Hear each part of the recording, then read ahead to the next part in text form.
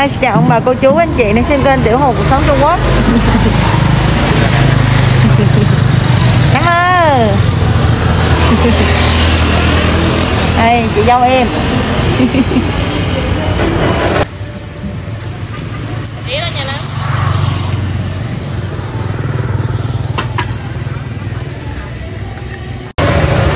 Giờ em với lại à, sải với lại chị dâu á thì đang à, mua nước trái cây ở ngay cái đầu đường em rồi à, đi lên trên à, nhà ngoại em nha. À, từ hôm bữa tới giờ về thì em chưa có dẫn à, sải lên thăm ngoại cho nên là hôm nay thì tụi em sẽ lên chơi với ngoại một chút. Nắm vô bà cố đây con.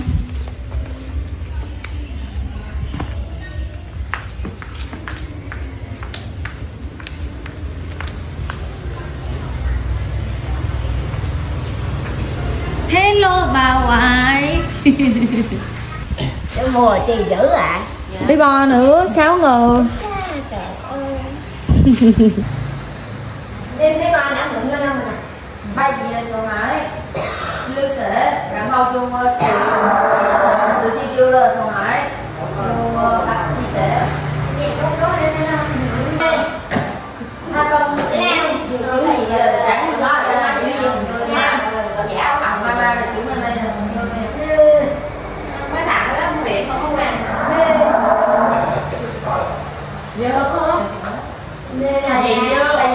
lên cửa Giờ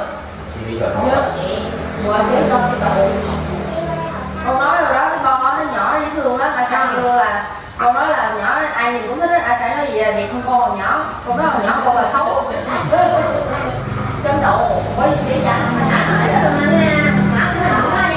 qua mở xô là tôi sang chị dê một hình chị dê là Mấy cái ảnh đâu thì cái hình này thì cũng giống giống thì Anh nói lên mà. Chị chỉ còn đi làm không giống nha còn nhỏ nữa với ghét nữa cả ngoại cũng cho ngoại đâu vậy Dạ giữ mua cà phê uống nghe tắt kêu hoài cà phê nói làm gì cà phê không Cảm ơn hai vợ gì cà phê Mà mà uống cà phê với sữa Sáng uống chứ my cho em nè Nó con chút đi ngon rồi Con chút cái nhanh đi. Cảm ơn ôi cảm hiểu đâu cảm ơn hiểu. Cảm ơn hiểu. Cảm ơn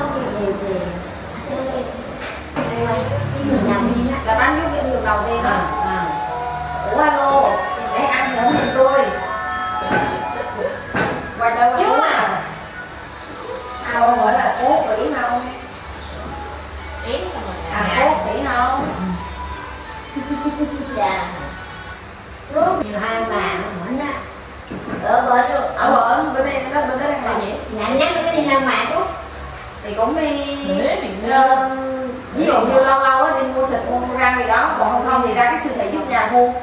Rồi ở trong nhà mà chứ cũng không có ra ngoài. nghe ra ngoài giờ này cũng đất đồ này kia chống lỏng mà đâu có cái gì đâu ngoài ra.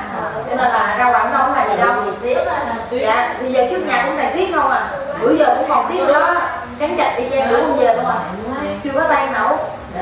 Qua tháng ờ, tháng ba tháng tư nó hết lạnh. Bây giờ mất tháng ờ, 12 à.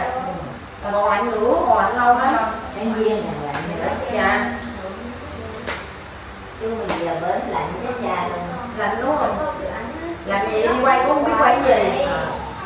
Rồi ra ngoài cũng lạnh ngắt đâu có cái gì đâu quay. Dạ. Mà mình về đây mình quay thì thực sự quay ngoài mình cảnh thì người ta ngán nó không có coi. Nhưng mà nhìn khác rồi dạ nói thì mình thấy đi liên tục đi cái này cái kia. Mình làm nhìn khác Chỗ này là dạ nó mua làm tay chân cấp da đó ở đây cũng cấp nữa mà. Cấp này con tay chân mà này dễ dễ dễ. Cấp sẵn luôn đó rồi. Giờ bữa nay là nấu đừng quá đừng đảo mà đúng không mùa đông nấu mình ra ngoài mặc áo mà còn không chịu được mà. Vì đó mặc ờ, quần mà. Một đôi cái mấy cái gì tủ lạnh mà đâu ngang mặc gì tủ lạnh mình có không độ à Không độ mà à bên ngoài đây vô mình chịu không nổi rồi còn cái này là âm hai độ âm hai mươi lăm độ nhà tám phút Lắm lau người trong nhà mà ở nông thôn thấy người ta lau người mà còn ở trên thành phố thì ta đánh nước nóng. Còn mình thì có nước nắng ra nắng mình nấu mình nấu nấu mình tắm còn giống người ta mình biết người ta lau người. Như vậy á mình thì ở Việt Nam có khuyên mình phải tắm mình nấu mình tắm. Chứ mình mà ăn ở ngoài nấu để mà nấu hay sao nhiều tóc là chắc là cái này nhà ngoại em á, thì gần trong cái xóm này là uh, thôn này ở đây là đa số đều là người đạo. Cho nên á, là Noel vừa rồi thì ở đây á, rất là đẹp. Dù là bây giờ thì Noel đã đi qua rồi nhưng mà nhà thờ á, với lại người dân ở đây thì người ta vẫn giữ lại đèn Noel nhìn rất là lung linh luôn. Hi, xin chào bà cô chú anh chị. Hôm nay á, thì cái giọng của em á, cũng đỡ khang tiếng một chút rồi nè. Thì à, bữa giờ thì em ờ, rất là ít có thời gian để mà trả lời bình luận. Nhưng mà em vẫn đọc bình luận của mọi người. Và những cái bình luận nào mà em có thời gian trả lời á Thì em đều có thả tim hoặc là bình luận lại. Nhưng mà do là em về Việt Nam. Ờ, mình về Việt Nam thì cái thời gian em sẽ vì em về không có bao nhiêu ngày cho nên là em sẽ lúc mà rảnh thì tranh thủ dành thời gian chơi chung với ba mẹ nè hoặc là đưa mẹ đi ăn vặt đi ăn uống gì đó để mai mốt mình về thì bên đó thì nó xa. À, thứ hai thì ừ, em về bên đây thì em cũng phải ờ, vừa nghĩ nội dung và đi quay chỗ này chỗ kia để có video rồi mình còn chỉnh sửa video nè.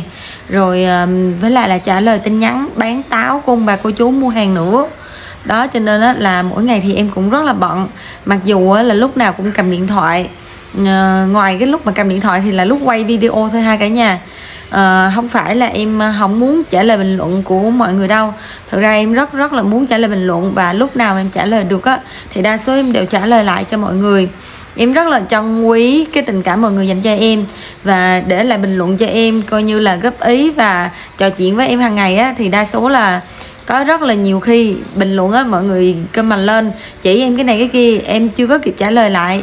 Nhưng mà khi em đã đọc được rồi á, thì qua ngày mai em sẽ nghe lời mọi người và cải thiện cái video ờ, để cho nó chất lượng hơn, tốt hơn mỗi ngày à, còn một cái nữa là dạo gần đây thì em không có chia sẻ về tiền lương youtube của mình. À, lúc trước thì em có chia sẻ một cái video thời gian đầu làm youtube thì em có chia, chia sẻ cho những ai mà chưa biết về cách tính tiền lương của youtube á. Thì uh, youtube á thì người ta sẽ tính lượt view của mình là tùy theo là lượt view nhiều hay ít với lại là trên video của mình á, là khán giả xem kênh của mình á, là xem quảng cáo nhiều hay ít nữa. Giống như là quảng cáo mà chạy được 30 giây 50 giây, thì cái tiền quảng cáo nó sẽ nhiều hơn là quảng cáo mà chỉ chạy được 3 giây 5 giây. Đó, cho nên đó là Ừ, mình nhìn cái lương youtube á, thì không phải là cứ là lượt view thì cao thì cao thì sẽ được tiền nhiều. Mà còn quan trọng vô á, là khán giả của kênh mình á có yêu thương mình và có xem giúp mình cái quảng cáo hay không thì mình mới có cái thu nhập cao. Là khi mà mình làm youtube như vậy á, thì thu nhập của mình nó sẽ không có phải là cố định tháng nào youtube nó cũng phát cố định cho mình bao nhiêu tiền đó. Dụ như mình có lượt đăng ký là 30.000 lượt đăng ký nhưng mà kênh của mình lúc nào cũng được 50.000 hoặc là 100.000 lượt xem á mỗi một video đều được lượng view như vậy á, thì kênh của mình nó sẽ được tiền nhiều hơn. Còn nếu như mình lên được tới 100 hoặc là một triệu lượt đăng ký nhưng mà kênh của mình á một tháng á, chỉ ra tầm khoảng à, 2 đến 3 video và video của mình á thì ít người xem không có người xem á thì video ít như vậy á, thì đồng nghĩa với lại là quảng cáo cũng ít cho nên là người ta sẽ kiếm được ít tiền. Đó cho nên là cái tiền lương youtube á nó sẽ không có cố định cho mình. À, cho nên là không phải là mình lập một cái kênh mà kênh của mình phát triển nổi tiếng lên hoặc là kênh lớn rồi. Và mình- khi mà mình ngưng sáng tạo nội dung mình ngưng làm video á thì kênh của mình ừ, sẽ có lương lâu dài cho mình lãnh cả đời đâu nha. Cái đó giống như là mình làm bao nhiêu thì mình lãnh lương được bao nhiêu vậy đó. Ờ, mỗi một video là đều được uh, uh, tính ra tiền lương bao nhiêu đó cả nhà. Cho nên là ngày nào nghỉ video thì xem như là ngày đó mình không có đi làm. Em với lại sải thì có đi ở dưới phan thiết á. Thì uh, nhà em á thì ở nông thôn nhưng mà chạy xuống phan thiết á. Thì chỉ cách tầm khoảng 8 đến 9 km thôi. Và từ lúc nhỏ đến bây giờ thì phan thiết rất là thân thuộc với lại em luôn. Cho nên nếu như mà những người mà ở xa người ta hỏi em là dân ở đâu? Thì nếu mình nói cụ thể ra nhà em ở đâu thì mọi người không biết. Nhưng mà khi nhắc đến phan thiết, bình thuận hoặc là mũi né thì đa số là những người ở xa hoặc là những cái khách nước ngoài thì người ta đều biết mũi né. Tại vì mũi né thì có cái biển rất là đẹp. Cho nên đó là người nước ngoài, du khách nước ngoài, nước nga, mỹ đồ này kia là về mũi né du lịch rất là nhiều. Đó, thì đối với em á thì phan thiết rất là gắn bó với em luôn. Cho nên đó là từ nhỏ đến giờ thì cũng đi xuống đó chơi thôi bà cô chú. Rồi lúc mà lớn á, thì khi mà xuống tập tành buôn bán hay là đi làm này kia thì cũng là xuống phan thiết làm. Bữa giờ á, tụi em về thì em á, về đây thì không có ở được lâu. À, cho nên á, là cũng không biết á, là tết này em sẽ có ở việt nam để mà đón tết hay không. Cho nên đó là em có một cái món quà nhỏ là đi lì xì cho những người già. À, nhưng mà à, có rất là nhiều bình luận. Thì đa số thì nói là Ừ, em có tấm lòng như vậy thì rất là tốt. Biết ờ, quan tâm đến người già thì rất là tốt. Nhưng cũng có một số bình luận thì nhắc em nói là hiện tại thì hoàn cảnh của em thì vẫn chưa có ổn định nè. À, nhà ba mẹ ở bên đó thì cũng nhà đất rồi em với A Sải thì cũng chưa có nhà cửa ổn định rồi cũng chưa có xe đồ này kia nữa. Đó thì ờ, mọi người nhắc em như vậy thì nói em là bây giờ trước mắt thì cứ lo cho ừm, lo kinh tế cho em với sẽ ổn định trước. Rồi lo kinh tế cho gia đình nè ổn định rồi xong rồi sau này mình đi giúp đỡ người khác cũng được. Đó thì rất là nhiều bình luận như vậy. Mà theo em nghĩ thì nếu mà đợi khi nào mà em giàu hoặc là khi nào em uh, hoàn toàn ổn định á, để mà mới đi uh, xen xỉ lòng yêu thương đến những người già á, thì em cũng không biết là khi nào luôn bà cô chú. Đó cho nên là khi mà mình cảm thấy mà mình có cái cơ hội uh, mình về Việt Nam nè mình có thời gian á thì lúc nào mình cho đi được á thì mình cứ cho đi. Uh, và em thì, thì em cũng biết hiện tại là em chưa có ổn định. Cho nên đó là cái tiền mừng cái tiền lì xì cho người lớn tuổi á thì đa số em chỉ lì xì cho người lớn tuổi. Chứ không phải là gặp ừ, người trẻ năm mươi mấy tuổi còn lao động được thì em không có lì xì. Thì đa số là đều là người lớn tuổi tầm khoảng ờ, sáu mươi mấy này tóc hơi bạc một chút hoặc là hoàn cảnh khó khăn. Ờ, chạy xe đạp đi ờ, bán vé số hoặc là đi làm di chai gì đó thì mình không có tới nhà mấy cô chú mình không biết. Nhưng mà khi mình gặp ở ngoài đường như vậy á, thì mình Ờ, với lại là em đi thì là ban đêm. Cho nên á, là nếu mà ai thực sự là không có khó khăn lắm á, thì giờ tối á, là người ta đã về nhà ngủ rồi. Chỉ có những ai thật sự người ta khó khăn. Cho nên đó là 9, 10, 11 giờ đêm người ta vẫn đi bán từng tờ vé số. Cho nên là mình biếu những cái phong bao lì xì tuy nhỏ như vậy nhưng mà mình cho đến tay ai đó thì là chắc chắn đúng người luôn. Cho nên đó là những cái món quà nhỏ như vậy mình cho đi thời điểm hiện tại bây giờ thì không có gì là quá sớm nha bà cô chú. Nếu mà có cơ hội thì mình cứ cho đi. Thì giống như là em cũng biết là người ta nói là sởi lỡi thì trời cho um, co ro thì trời lấy lại. Đó cho nên á là mình làm được cái những cái điều gì trong cái tầm tay của mình thì mình cứ cho đi ngay từ bây giờ luôn chứ đừng có đợi mà sau này. Tại vì đợi thì mình không biết đợi đến khi nào đâu cả nhà. Có một cái bình luận là nói em á là à, bây giờ em có tiền thì em lo cho gia đình trong nhà em trước nè rồi em giúp đỡ họ hàng em này kia đi. Thì ờ, cái bình luận này thì em đọc có đọc qua và em cũng uh, có một cái suy nghĩ riêng của mình thì à, em cũng chia sẻ lên đây luôn. Thì uh, như mọi người nói thì uh, khi mà kinh tế khá giả thì mình lo cho gia đình mình trước và lo trong dòng họ mình.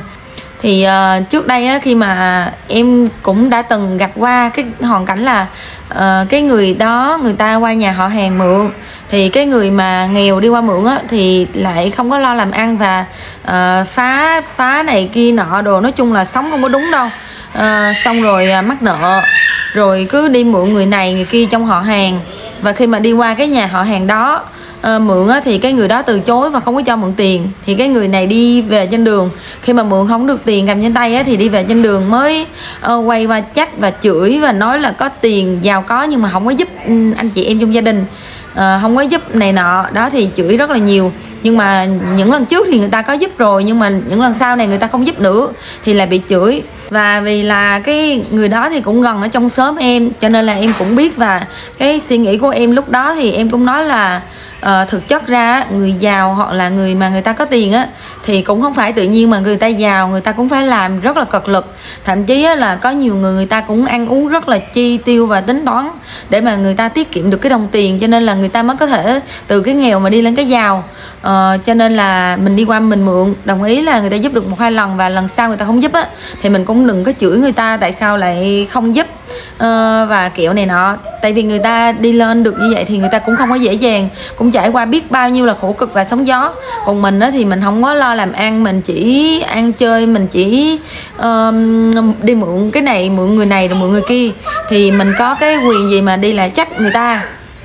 Uhm, theo em nghĩ thì nếu mà ở đây có nhiều ông bà cô chú lớn tuổi thì mọi người cũng biết á là có nhiều người người ta rất rất là giàu luôn nhưng tại sao người ta lại từ chối giúp họ hàng hoặc là người trong gia đình? À, người ta lại đi phát gạo hoặc là đi uh, đi đến đến chùa nhờ thầy đi giúp để mà phát gạo này kia để giúp cho bà con khó khăn đồ này kia.